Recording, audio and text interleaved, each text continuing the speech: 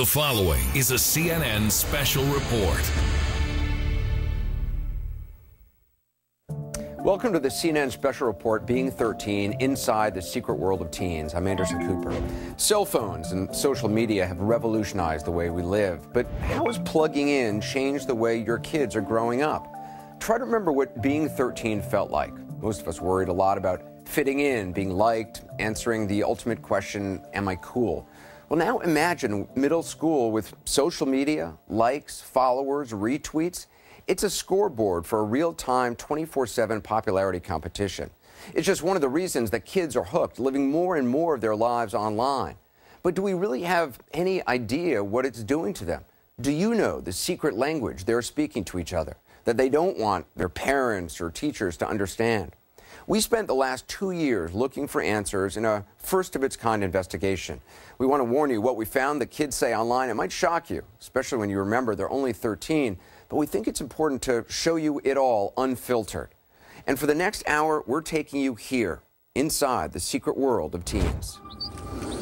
Millions of tweets, comments, pictures, posts, likes, hashtags, videos, a steady stream of social media activity, and all constantly at the fingertips of 13 year olds across America. The volume of internet noise can be overwhelming and indecipherable to adults untrained in the new language of social media. So, how to crack the code? 360 went directly to the source 13 year olds themselves. We signed up hundreds of eighth graders at eight different schools across the country. They're from cities, suburbs, and small towns, and they gave our team of experts access to their social media feeds in real time.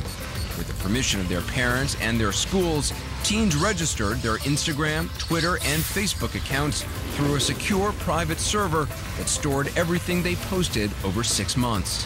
From mean comments, Sweetie, I suggest you stop being a bitch about it, to threatening ones.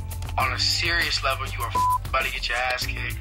Supportive messages. You are one of my best friends, and I trust you with anything. And explicit ones. God damn, you dirty bitch, you dirty bitch, you dirty bitch. They all went into the vault, more than 150,000 posts in all. 150,000 pieces of a very complicated puzzle, seen, stored, and analyzed by our team of academics. This groundbreaking CNN investigation is the first major study to look at what kids actually say on social media and why it matters so much to them. Designed by renowned child clinical psychologist Dr. Marion Underwood and sociologist Dr. Robert Faris, teens also answered survey questions like How often have you gotten into a conflict with someone on social media? Have you posted something on social media that you later regretted? What's the best thing that's happened to you on social media? How often do you worry that you're missing out on what your friends are doing online? What our experts discovered might completely change what you think it's like being 13.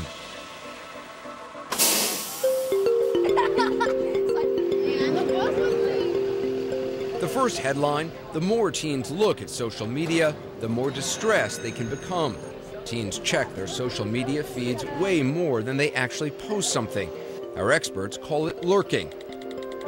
And the heaviest users in this study told us they check their feeds more than 100 times a day. Sometimes I'll catch myself like going on my social media way too much, about 200 times in a day. We asked about 20 teens in our study to send us videos responding to questions about the power of social media in their lives. The most times I check it in a day, I lose track. It's just a need. I have, to, like, I need to. Yeah, I probably check my phone 90, 100, 110. Even when I'm hanging out with people, I still check my phone a lot because, I mean, the one thing I want to do is miss out on something. I think I've checked it about 100 times at school before. Like, I'll just whip it out in the middle of class and I'm like, hmm, wonder what everybody else is up to. Why check over a 100 times a day, even during school? They're really worried about fitting in. 21% say, I want to make sure no one is saying mean things about me. 36% say, I want to see if my friends are doing things without me. And 61% say, I want to see if my posts are getting likes and comments. Even though I was at school, I would still check my phone because, I mean, people post things at school and stuff, so you're still always worried. Clinical psychologist Dr. Marion Underwood is the co author of the study. It is stressful to constantly be monitoring and worrying about what people, how people might have responded to what you've put online. This is an age group that has a lot of anxiety about where they fit in, how they rank, what their peer status is. So they don't just get online to see how many likes or favorites they got, they're comparing their numbers to other people's numbers. Some kids even buy likes and followers. Yes, there's an app for that too. Why do they do it? Think of social media as a popularity barometer. How do kids really boost their status? Our study found that it was actually bullying or social aggression that did the trick. Sometimes the aggression is hidden or covert, and sometimes it's right there in your face. Go die. Stop trying to be popular. Holy shit, you're ugly. Ah, boy, you better come for your life. Mess with one of us, you mess with all of us. It really get to a point where I just want to burn bodies. And those are some of the tamer posts that we can actually show on television. Remember, these are all from 13 year olds. How can they talk to each other like that, you might ask? The answer is complicated. Because the communication is done digitally, teens are able to remove themselves emotionally from what they say. In fact, most told us that they say things on social media they'd never say face to face. I don't like dealing with things face to face because it's really easy to hide behind your phone and in face to on face to face like you have to deal with the other person and I don't like dealing with people that cry or get really mad and they say something mean back to me and I'll lose and I don't like losing. Some even had horror stories of friends cyberbullied through fake social media accounts. They went on her Instagram page um, and they made up a fake account. And they just scrolled through every single one of her photos and commented something rude. No human should be able to say such rude things to someone, especially behind a screen where they're being cowards. Direct aggression hurts, but covert aggression, according to our experts, can hurt even deeper. Our study found that sites like Instagram and Twitter are the new front lines in this hidden warfare, and parents hardly ever recognize the weapons.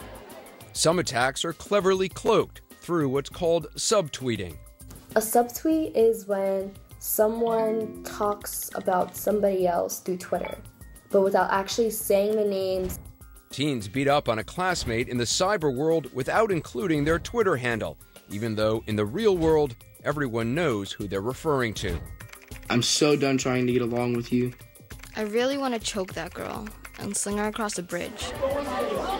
Then there's what our experts call sins of omission, intentionally excluding peers just to hurt them.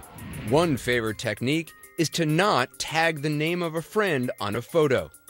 Take a group photo on Instagram. Everyone looks like they're having a great time, right? But look deeper. All the teens are tagged except for one. A simple mistake? Don't bet on it.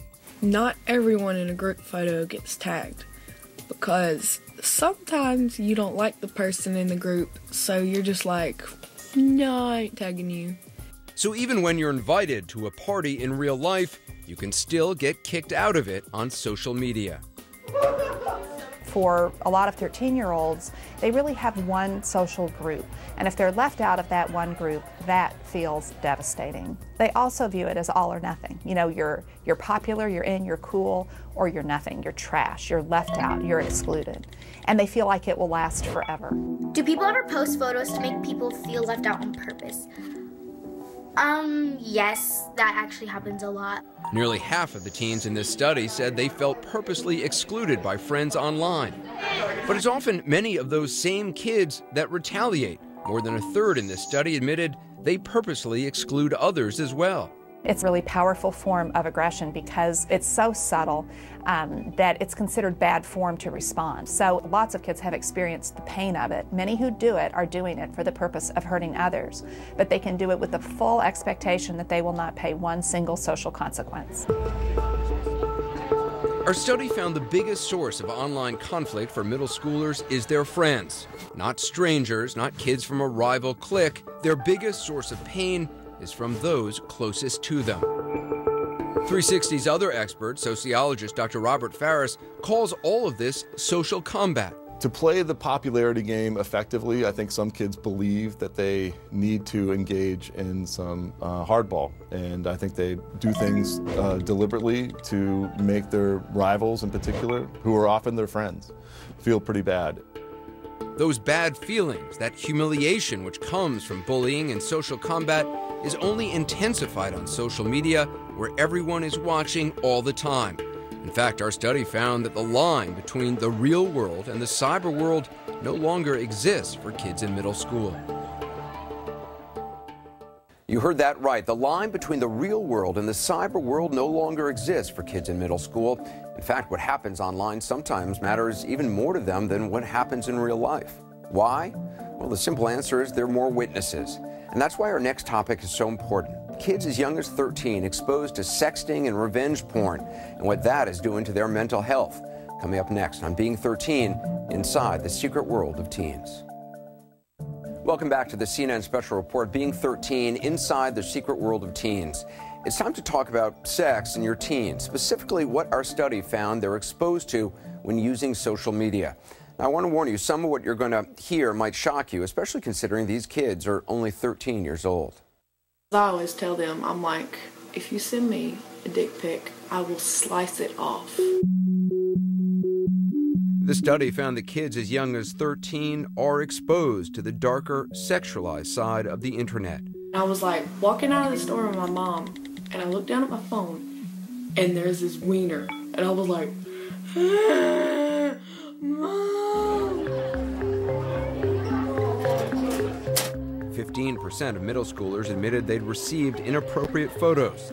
The damage lasts long after the photo is deleted.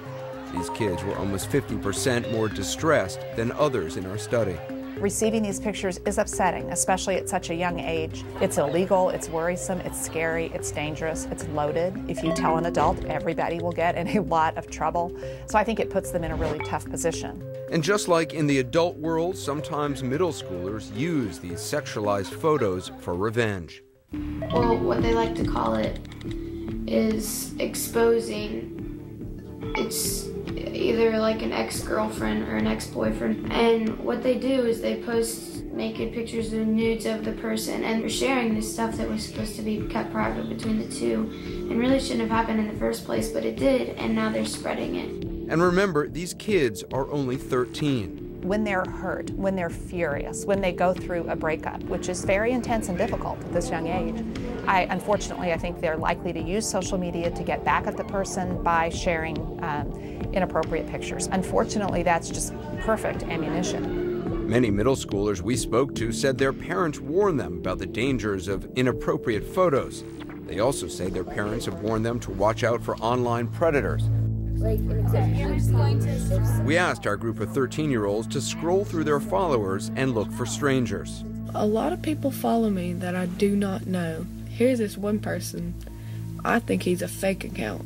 His username is dot hot 69. Anyway, I think he's fake. He's not even that cute. But I have absolutely no idea who that is. Let's look a little more closely at that. This Instagram user says he's 18, following a 13 year old girl. There's actually a lot of people I have no idea who they are, but I just let them follow me because the more the merrier. And Gabby, like many middle schoolers in this study, shares a lot of her life on social media, sometimes even more than she realizes.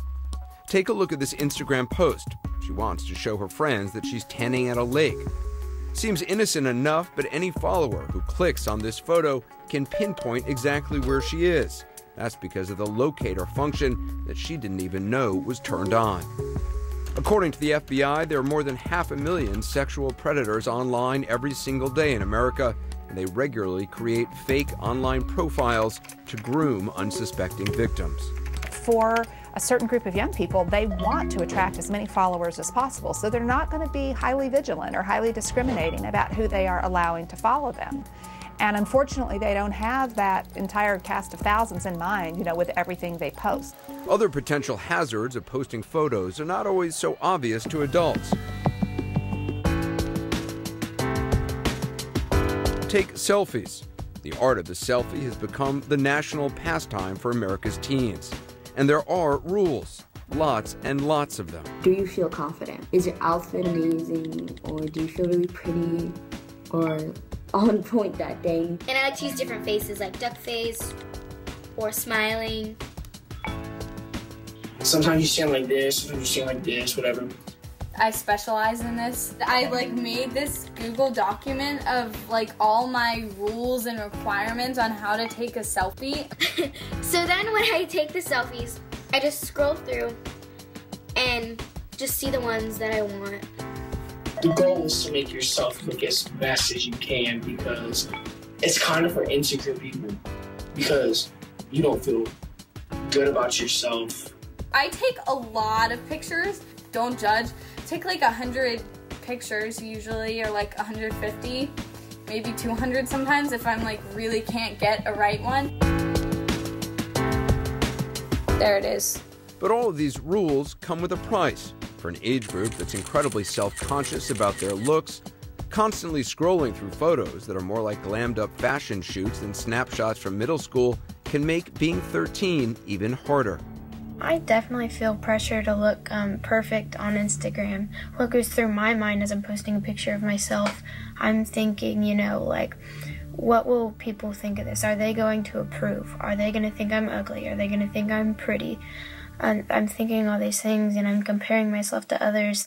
And those anxious feelings, comparing themselves to others, and the constant need to check their status leads a lot of parents to ask a simple and troubling question is my child addicted to their phone, addicted to social media? Our study found it does have some of the hallmarks of clinical addiction. For example, what some kids said about losing phone privileges sounded a lot like an addict suffering from withdrawal.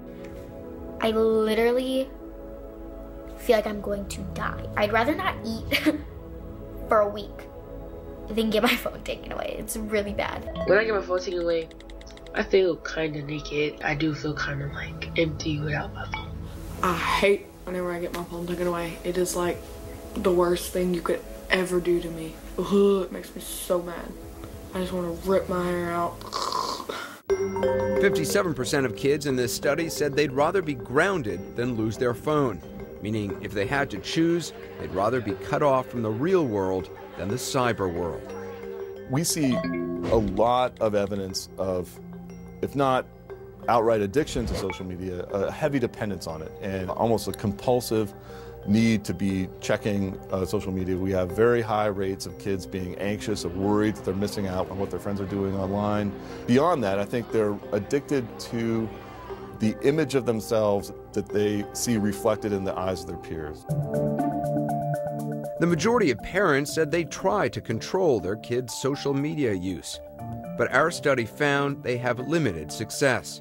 What's more, parents were way out of touch with what their kids were feeling. About 60% underestimated how lonely, worried, and depressed their kids were. 94% underestimated the amount of fighting happening on social media. And I think what's going on here is are two things. One is that um, the language of social media, the, the subtleties of exclusion and, and social combat are indecipherable for parents. The other thing that's going on is that kids, by and large, don't talk about the kinds of conflicts they're experiencing because they feel like adults can't help. And despite that finding, the data shows something remarkably empowering for parents. Even if they feel they can't control their middle schoolers' social media use, even if they don't understand a lot of what's being said online, just trying really counts just making an effort to monitor what your kids are doing online really mitigated the negative effects of their kids experiencing conflict with their peers. So parent monitoring effectively erased the negative effects of online conflicts. And friends ease each other's pain too. That's right, 13 year olds stab each other in the back, but we also saw thousands of posts where they had each other's back.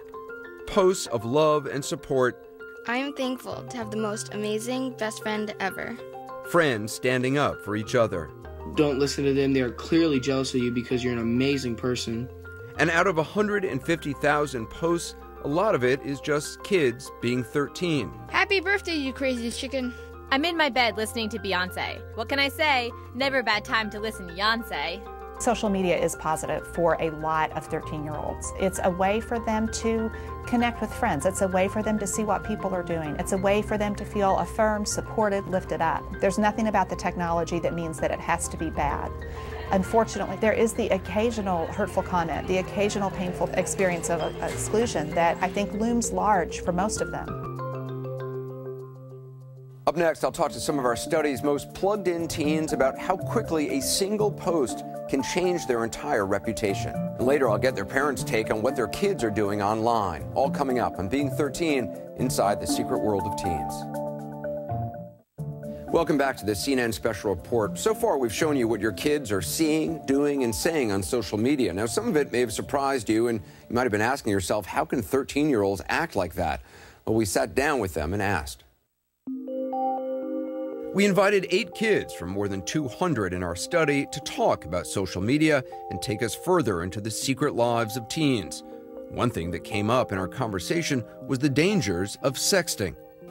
They post private pictures of the other their ex. These pictures are well, they're they're naked pictures. So we played what Morgan had to say in her video to the whole group. They're sharing this stuff that was supposed to be kept private between the two and really shouldn't have happened in the first place, but it did, and now they're spreading it. Does that happen? I mean, do all of you know about this? Does, does that happens pretty? Com- that's pretty common. Hap- that has happened. a Yeah, couple that times happened. this To, what's year. her name? Yeah, this one girl. She, she actually sent nudes to a guy, like at a different school, and it wasn't even at our school. And then that guy sent it to kids at our school, and then everyone saw it. Like three kids got expelled. She got arrested. A couple kids got suspended, mm-hmm. referrals, stuff like that. What kind of an impact does that? I mean, does that make you think about what you send out? Yeah, Definitely. It's Yeah. crazy. It's like, That's like not it's like a reality check. So you, at the time, you're not even thinking about it, and then when someone else does it and they get in trouble, it's like Zach saying, the girl got arrested and the other guys got expelled. It's kind of a reality check. It just hits you, and you're just like, you know what? I need to slow down and kind of retrace my steps and think. You can't ever recover from that though. Yeah. When, like the ex-boyfriend will post something like that of that girl, he doesn't think about what that actually does to her and how much how much crap she's about to get. Like if anybody from the school was to see somebody's like from our school was to see somebody that goes our school nudes, it would cause a frenzy. Like everybody would just yeah, everybody's gonna go crazy. They'll, oh yeah, I see like they'll just talk about you endlessly. Sharing nude photos is not the only way to ruin a kid's reputation. Believe it or not, just posting one bad selfie can change everything. Like if you could be like the most popular kid in school and post this one picture, and everyone just like like takes your life, like your social media life, however you want to take it, and you go from the most popular kid to most most made fun of kid. So things are that tenuous. It Yeah. can change. It that can quickly. change that Yeah, quick. it can. if you post something bad on um, Instagram or any type of social media, you could just ruin how you how like your image, like because you could have like so many perfect selfies and then you have this really like what like that it went from being perfect to like to this. It's also interesting because you're talking about ruining your image. You're not talking about, you know, for one day when you applied for a job, someone may see this. You're, you're talking about how your friends are judging you. Or just like talk behind your back because that's happened to happens so many people. It's happened to me before, happened to my friends before. Everyone's gonna talk about you. It's not. It's really inevitable. Like you can't. Like everyone talks about everyone, and like no one can lie about it. Like you always talk about someone. It's that's literally what drama is. It's what gossip is, and everyone does. it. Beyond gossip, some of the teens admitted the pressure to fit in, to be popular, makes them act like an entirely different person online, saying and doing things they'd never do in the real world. I, I've read a lot of your postings. The people you are face to face seems a lot different than the people you seem to be on social media. Do you think that's true? Um, Um, yeah, depends on the person. Mo- like that's most people, but to me, like all my friends know that I'm the same either way. Yeah. Yeah. Jonathan, you think you're the same in real life as you are on social media? yes. Yeah, he really is. Despite what he says, the affable and respectful Jonathan in the real world seems to totally contradict Jonathan in the virtual world. A couple of posts of yours that some of them were pretty sexually explicit, used a lot of profanity. Um, somebody posted, somebody else posted a photo uh, that I want to show, and you made you reposted and made a comment said, "Let me hit." Um, you posted a photo that's very graphic that I can't put on television, and you said, "Most of these bitches at Rodney Thompson Middle, bruh, goddamn you, dirty bitch, you dirty bitch, you dirty bitch." Oh, I found that no, like it, on a repost Yeah. on Twitter. I found that on there and I posted it on Instagram. Yeah. Do you worry about p- some of the stuff you put out, or Like, yeah, but at one point I wasn't really using it, and people would tell me, you know, you got to make your Instagram like useful or funny. So at one point I was like, okay, I I mean I could try. So I took like a couple of days to figure out what to do and how to set it up. Do you worry about that? You know, I mean, you yeah. say, let me hit it. Well, like I was just playing around. I don't mess with drugs and whatever. Because that was one of seven weed posts. Um, So, I mean, I guess it gets to the earlier question about presenting yourself the, on social media as different than you are in real life. I'm, I'm not picking on Jonathan here because a lot of you and a lot of the 200 kids we talk to, the way they, the way you all talk, is very different than the way you talk either certainly to adults, but even just listening to you in the green room, the way you talk to each other. It seems like sometimes you adopt a persona, maybe that's tougher on social media than it is in real life. Yeah. Yeah. It all every day is just about social media and how you and how people see you. So basically, you can be the most quietest kid in the back of the class, no friends, anything. As soon as you get home, you can go on the computer to Facebook and start doing whatever you want, and then uh, you can have like 15k followers. 15,000 followers. Yeah. So you can create an identity that's different than maybe who you really are. Yeah, you're just like a double, like for example, you're like a double agent or whatever. You have one side of life, and then you have another one. Coming up, I'll talk to our study's most plugged in teens about bullying. Later, I'll talk to their parents who say trying to keep up with their kids' social media is like chasing a runaway train.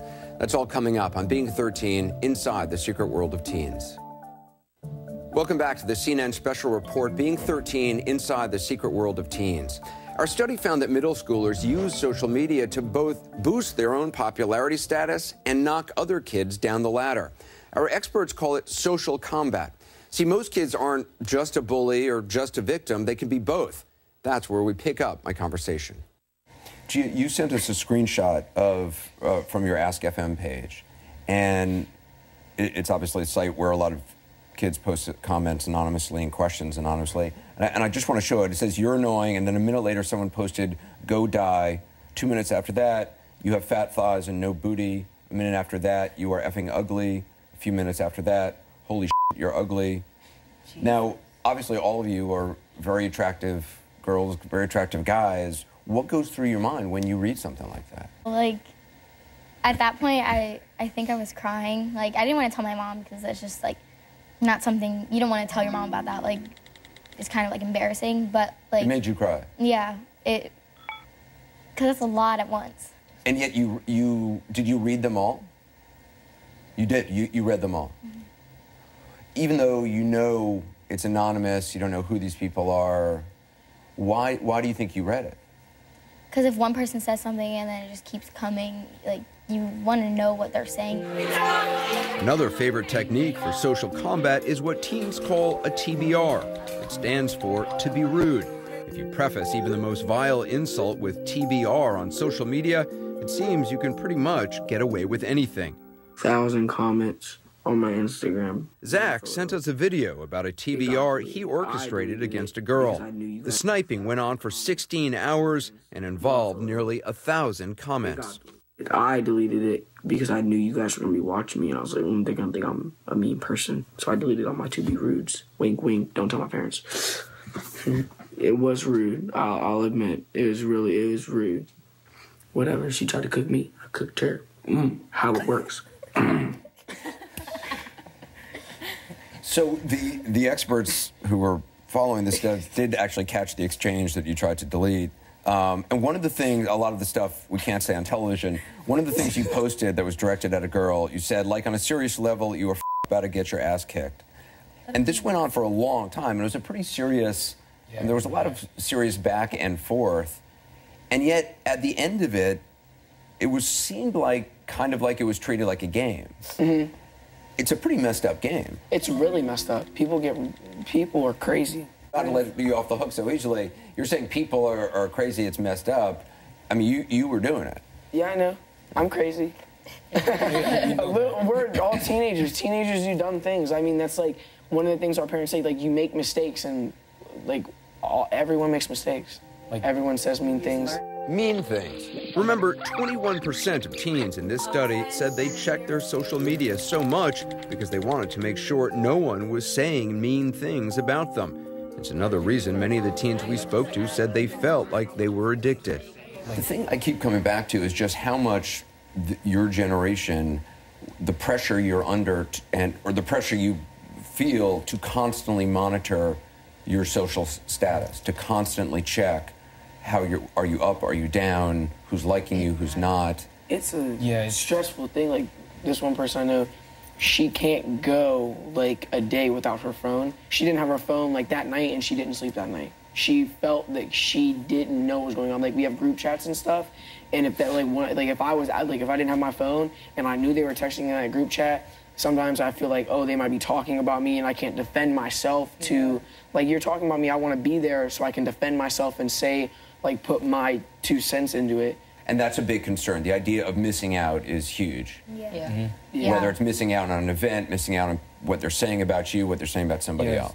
I think just because people really want to know like what other people are doing and what they're missing out on, but like even if you're not at the place, you still want to know what's going on. It doesn't seem like though that it's making you feel better knowing all this No. stuff.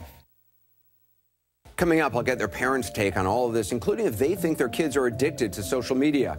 We asked all parents to confiscate their teens' phones the weekend before our taping just to see how long they could go without social media. One mom was so surprised at the blowback, she grabbed her phone and recorded it. Are you crying because you can't have your phone? Yeah. I can take pictures and send them to you. It's not the same!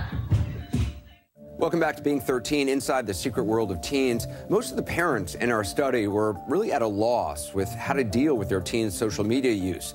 Despite many who try to monitor their kids' feeds closely, the experts found that about two thirds of parents underestimated just how, how lonely, worried, and depressed their kids were. And almost every single parent, 94%, underestimated how much conflict their teen was involved in. 94%.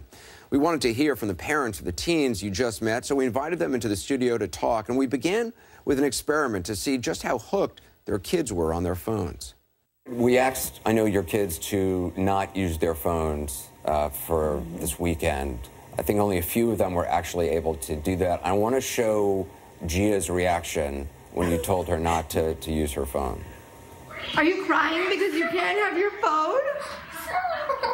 Gia, look at. Are you crying? Are you upset you can't have your phone for three days? She's recording you. I know. Gia. I can take pictures and send them to you. It's Did her, Amy, did her reaction surprise you? No, that was actually a calm version. Uh, the first time that I told her about that, she um, really cried a lot harder. I was like, "Wow, it's really that important to you that you can't just shut it off for you know a day." And so, Does it drive you all nuts how much they use the phone? It does. It- and you can just feel the life being drained from you. It just sucks it right out of you because they don't they don't have any way of communicating with you. As soon as you take the phone away, then they actually talk to you. They tell you about your day. They tell you about what they've done or what's going on. Sociologists don't use the term addiction for, for social. Do you think your kids are addicted to? yes, yes, yes. oh yes, absolutely. Yes. this is pretty universal. I thought maybe you were going to think about it. Jonathan got in trouble, and his phone was pulled away from him for like two weeks. Wow. He literally went into depression. Mm. His mother and I watched him every day. He moped, mm. could didn't want to speak. His mood was foul. Interesting. Yeah. And finally, at the end of that, when he got his phone back, It was like we turned on a light switch. Mm-hmm. So that's how powerful all of this is. Beyond worries of addiction, one of parents' biggest concerns is online predators. A lot of people follow me that I do not know. We played Gabby's video about followers she didn't know for her mom and the group. But I just let him follow me. His username is dot hot 69. Anyway. And she's got more than 2,300 followers. And it's interesting because she, about a month ago, she posted a, a picture of herself um, sunning herself. Uh, whether she was aware of it or not, with the click of a button, any one of the followers could access geolocation data to know exactly where she was. Does does that this kind of stuff? It's got to frighten you. It's got to worry you. Right. And I'm a parent who probably over monitors, you know, social media, but um, the geographic location is something that I'm not very familiar with. And so that is um, pretty terrifying. Yeah, you can turn it off. It's, it's a thing you can actually easily turn off. But but that's got to be one of the things. Just keeping up with the technology has got to be so worrying. I've asked him to, do you know all your followers? Of course not. Because, yes, the more followers you have, again, the status, it looks good. The need for status or popularity was something these parents were very aware of. The lengths that some of their teens were going to achieve it, that was a surprise. It does seem like a lot of kids are posting stuff that they think will kind of boost their social status, but it's not really who they are. And, and Jonathan is an example of that. that he, I mean, he, he referenced marijuana like seven times. He said at one point about. Uh, we can't actually show the graphic of a picture, but he said most of these bitches in it, Rodney Thompson, Middleborough, goddamn, you dirty bitch, you dirty bitch, you dirty bitch. And, and that's actually kind of one of the tamer parts of it. And again, that's not any different than what a lot of kids are, are saying out there, so I'm not zeroing in on him. But when I asked him about it, I mean, he's basically said it's about kind of adopting a, a persona that's not necessarily, he's not going around saying this in real life. Do you monitor Jonathan's postings a lot? Do you worry about them? I, I would say, like any parent, I don't monitor him as much or as deeply as I would want to. There, not those type of things would I would find distressing coming from my son. But again, and what's interesting is, to me, that's not, that's certainly not the Jonathan I just met. And no, it's not and, the Jonathan and it's not. It's Right. not the Jonathan that I would have conveyed to you. Right. So that's something that definitely raises my eyebrow, and you'll probably catch that on camera later too. but um, yeah, that that that's where that, that causes concern. And that's not all to be concerned about. Many teens use social media to cry for help when they're lonely, when they're sad, when they're angry. Simone puts a lot of a, a lot out on social media. I, I I just want to put up show you some of, of what some of the things that, that she posted. She said, I just need one good friend I could tell everything to. At a later date, she posted, I don't have no type of friends. I really hate this school. She also posted, I really want to choke that girl, sling her across a bridge. she also said, it really gets to a point where I just want to burn bodies. D- does it does it surprise you to see her putting that out on social media? Yes, but I can understand her frustration. Um, we moved a lot, military family. I was in the military, her father's in the military. So moving around a lot, she's only had maybe one or two years with friends, and then we're moving again. So then you're learning somebody new, the school is new, the friends are new, the area is new. So you get to a point where people don't understand you. Sometimes being 13, it feels like no one understands you. And that's where good parents like Simone's mom really make a difference. Just a note I, I've done a lot of reporting over the past few years about kids who commit suicide after being bullied online. And that's why our team of child development experts who we were working with examined all 150,000 posts. We had a plan in place to notify parents and schools immediately if they saw any red flags for suicide risk. Thankfully, that didn't happen. Coming up next, I'll sit down with experts who can help both teens and parents understand just how to navigate this brave new world of social media. Welcome back. This is the first generation of kids to grow up on social media. And you just heard some of their parents talk about the frustration they feel trying to raise their plugged in teens. So we wanted to give families some practical information what to worry about, what to let go, and how to use social media to deepen their relationships with their kids. We turn to Dr. Underwood and Dr. Faris for some answers. Marion, you say it's not social media that kids are addicted to, it's, it's, they're addicted to each other. W- explain that. Well, I think they're addicted to the peer connection and affirmation that they're able to get via social media.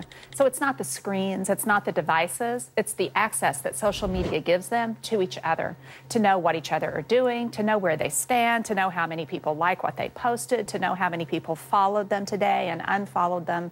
So it's the peer connection, the affirmation, and the reinforcement that I think is highly addictive. The, your report compares social media to kind of rocket fuel for teens, that it, that it accelerates. Can you, can you explain what that means? Yeah, so it's, it's highly combustible and it, it's flammable and it accelerates the degree to which kids form their own self-image, have have feedback from peers that strongly informs what they think, how they think about themselves. And I think that's that's a lot of what they're addicted to is is they're addicted to each other, but they're also really addicted to the image of themselves as it is reflected in the eyes of their peers. And so it's really about figuring out who they are. And I think and I think this this platform, these platforms really um, speed that process up in a way that's, that's truly new. There's another phenomenon that people have written about since the 1960s called the imaginary audience.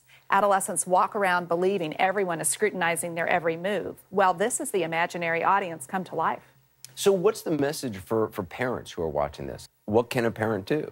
Two things are really important for parents. I mean, first of all, I think we need to talk with our children about their online lives and what social media platforms they're using. And if we see them just frantically tied to their phone, something's going on, say, hey, what's going on? Is something wrong? Is there some kind of problem?